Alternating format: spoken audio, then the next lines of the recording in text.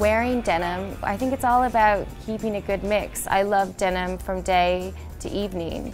You can wear it during the day with, you know, a really cool sneaker and then pair it with, you know, a sexy bare, you know, um, sandal or pump for the evening and um, you're good to go. For spring, AG uh, as a brand is really foraging into the term collection and what the term collection should be for our brand.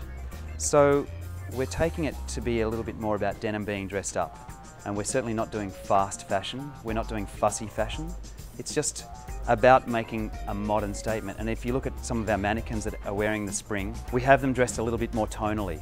Trends um, definitely vary coast to coast when it comes to denim. You're seeing a lot more relaxed beach vibe denim coming from LA, maybe lighter washes, maybe um, more boyfriend styles. Um, and then in Miami, you might be seeing more colored denim, um, more form-fitting denim, um, maybe some more metallics.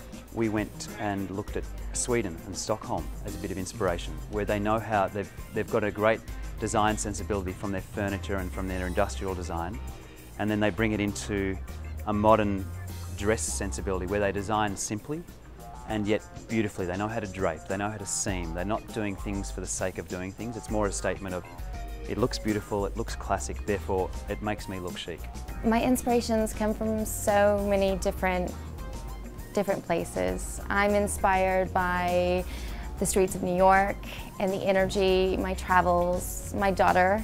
She has a great eye for fashion and it's, it's fun just to see her mix things. I really wanted to consider what happens when a shopper goes into a store after a holiday season and the sale season. So spring is when we introduce a whole new feeling and what do you go in there for? You go in there for colour. So we're noticing that there, there's a real go back to the, the blues of denim and to wash values. And so I challenge the designers to say I want new blues. I don't want a rack of grey cast indigos, I want a rack of fresh blues. Two of the hottest things for the season for us in terms of our bottoms would definitely be the taxi zip, which is based on our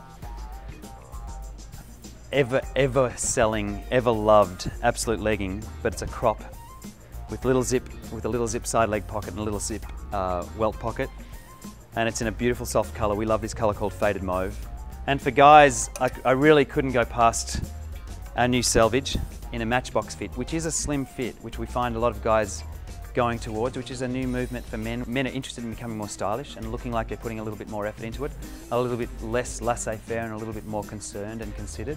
My personal fashion philosophy is that um, things should be effortless, you know.